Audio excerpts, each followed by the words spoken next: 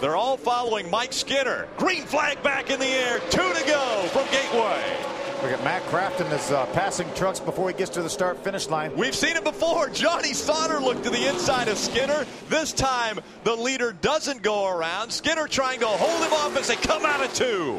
I think the 13 had a good enough time to be there, and he thought, you know what, I just saw this happen. I'm not going to be part of this. I've seen this movie. Yes, and uh, it looks like they're both doing a great job. And you know, right now I got to give the upper hand to the five. Out in front, though, the five of Mike Skinner now has two truck links between himself and Johnny Sauter.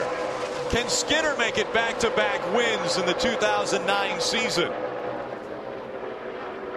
As he comes out of turn number four, Mike Skinner is going to win at Gateway International Raceway. What an unbelievable finish we've had here.